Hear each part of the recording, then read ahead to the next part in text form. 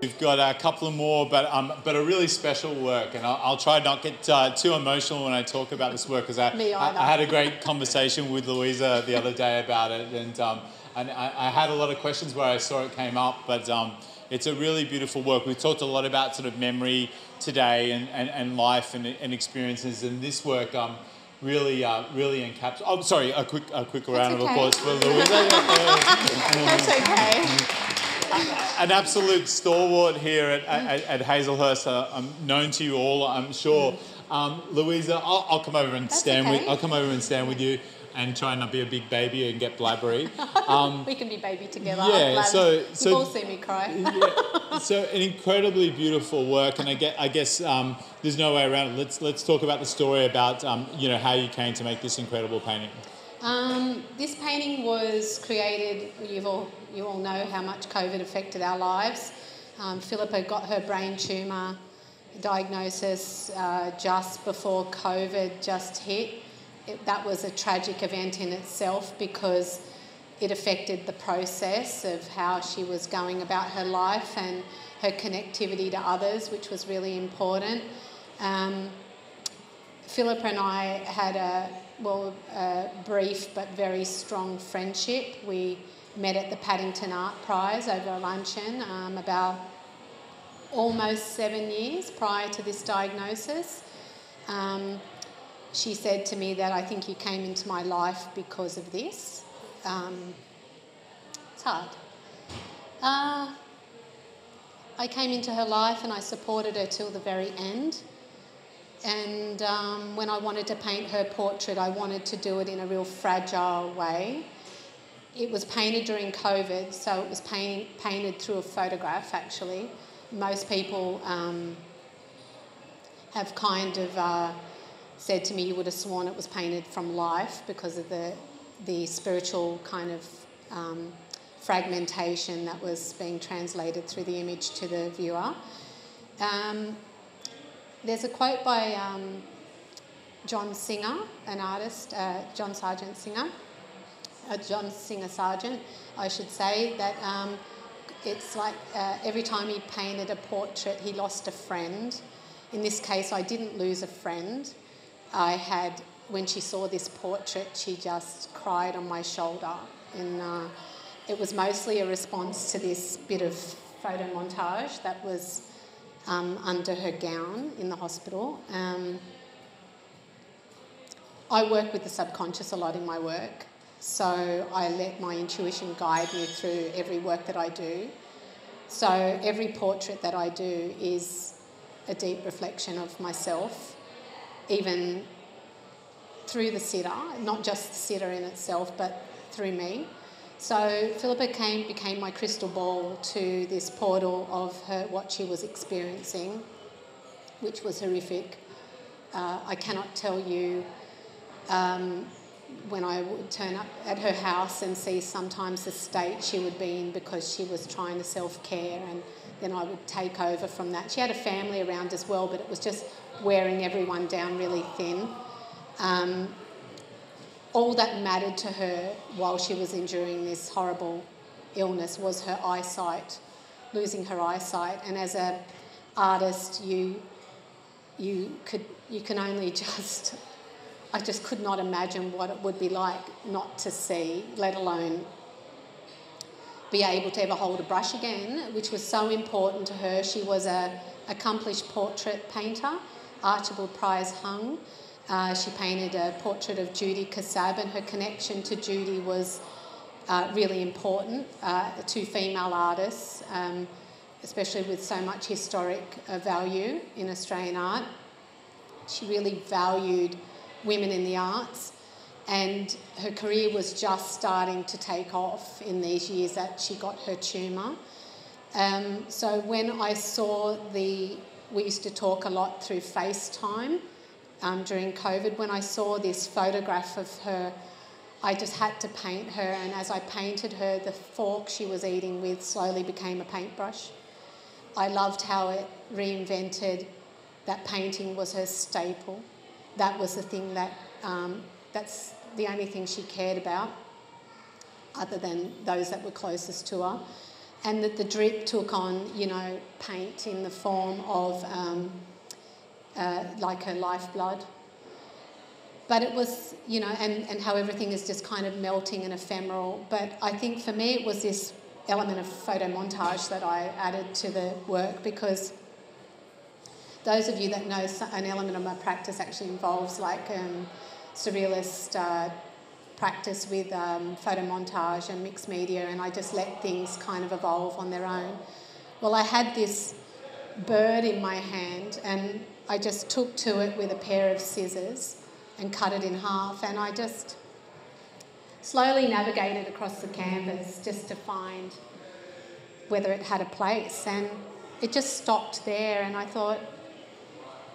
I had an art teacher at school once say to me, um, you know, sometimes you've just got to go with the first place you were going to stick it. Like, if it feels odd, just go with it. And that's where it landed and that's where it stayed. And then I realised this uncanny connection because I'd been visiting her studio for, for ages and realised that she had a little bird in her studio called Sky, and it was her little alter ego and when she saw the painting, that's what broke her down because it became a metaphor for her mortality, for her for her going to be like you know when you've got a bird you cover it at night so, so that it knows it has to sleep. So it was her death, it was her freedom, her life, her creativity, all summed up in one little bird. So.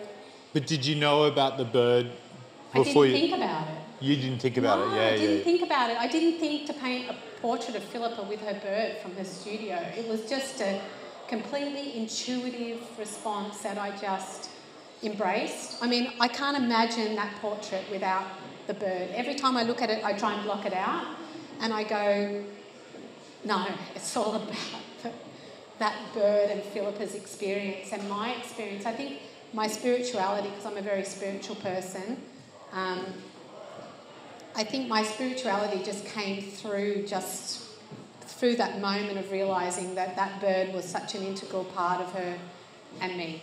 It was just part of both of us. And um, like I said, every time I paint a portrait, I look at it like any time I do a work of art, it's always a crystal ball to me. Nothing's a cut process, nothing's repeated too often. And um, I find it exhausting creatively because I'm always making a fresh start. It's not just a physical fresh start, a process, it's a fresh start. In this case, I had to teach myself how to use watercolour on canvas, and I've had a lot of questions about the process and that. And that, was really hard because, you know, um, it was significant in itself trying to retain the image on a surface that washes away.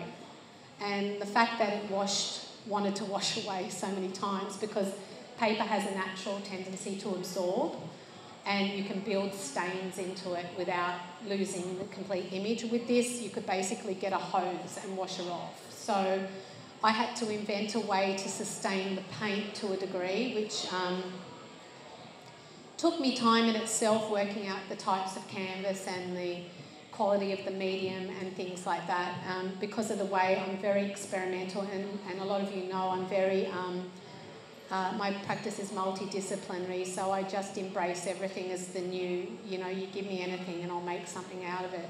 So for this process, I thought I have to do it. I can't do it in oils. I can't use terps, you know.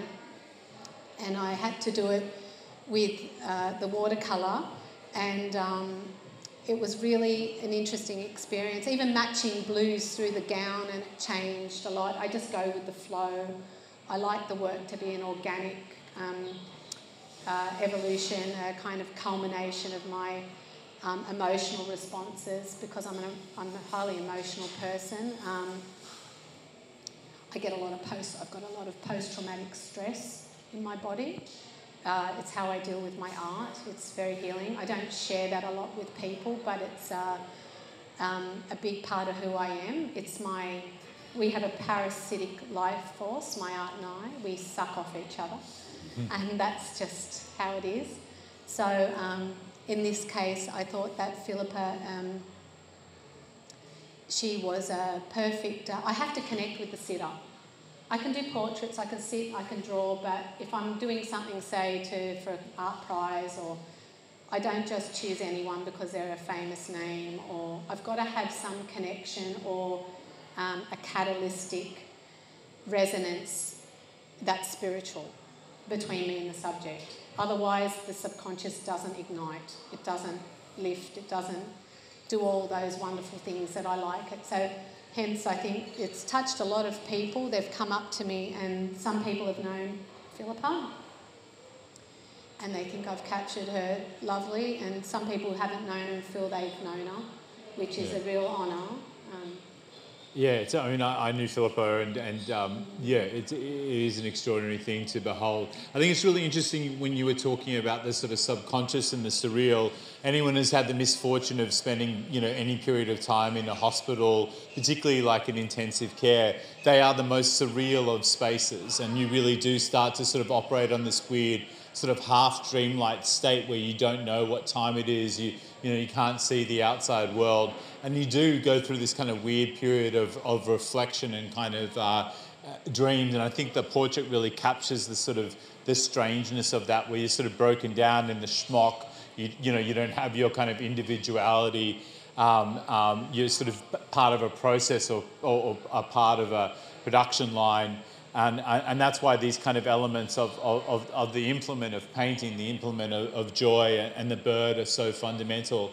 And that's one thing that's been really common to a lot of the talks today is, is, is painters talking about um, how fundamental the act of painting is to them, not just in terms of a creative output, but literally a, a life force, like what you're saying, like this, this kind of drip of the paint um, going out and that parasitic relationship. Well, yeah. actually, um, I, have been so busy lately with overseas, like my career overseas, developing my career back and forward, and writing grants and all the administration stuff artists do behind the scenes, uh, other than pushing paint around. And when I was asked about a work for this show, I was really struggling because I thought, what have I got? I've got some, I've got a lot of work, but I want something fresh, and actually, she'd never been shown before, so I thought it was ideal. And then I thought of the theme about painter teacher and um, this idea about uh, how in the classroom, you know, in the room or the studio, atelier, whatever you want to call it, uh, this is where I have strong feelings about cross pollinating as a, an educator and as an artist because you know you can't effectively teach unless you're exchanging ideas with the student. The teacher doesn't know everything. Sometimes I'm flattered that the, the, the students think I know everything, but I don't. Um, and they, they feel indebted to me for the knowledge I'm translating to giving them. Um, but in the terms of the theme for the show, that idea of cross pollinating and my friendship with Philippa, um, I think I wrote it in this in the actual statement that I felt it was a perfect um, a scenario, my relationship with her and the painting to translate how I feel towards my students when I'm teaching. Wow. Um, it's, it's a very powerful thing. I actually go home depleted sometimes because I give a lot of myself, and not just my knowledge, but a lot of me to the students, and I go home tired. And I think when an artist is trying to support their practice through teaching, which is a deep passion of mine, I couldn't think of a better job to do. You know, I go home and sometimes my creativity is a bit more sparse than what it should be because I'm exhausted from sharing that creative energy, that synergy I have with my students. So. But then sometimes your students inspire you and, and like, yeah. yeah, yeah. you were saying the other day that like, yeah. you know, sometimes the thing, you know, like, I mean, because you do know a lot, right? And, and, but then every once in a while, you know, it's like that thing sometimes when you say something out loud, it makes you understand it more. And I think through that process of, of teaching, sometimes things about your, your own practice, your own life um, um, come up. So, oh, yeah. yeah. I mean, I had a student, a, a, a, kid the other day, so I really enjoy teaching the kids as much as I teach the adults. But she was saying to me how she's noticed that I, she, she just doesn't get taught on, um, you know, what to do. She gets taught on how to do it, which was really nice to have that feedback from a seven-year-old kid. you know, so you know that was really fulfilling. I never went home. I never forgot that when I went home. And I thought, and that little seven-year-old kid actually remembered that. That's what her father said. So you know, I mean, she remembered that, and that meant a lot to me. So yeah, I do get energised by stuff like that. It's just. Well, well, showing this particular work uh, uh, means a lot to us, and um, please, please join me in, in, in thanking Louisa. Yeah.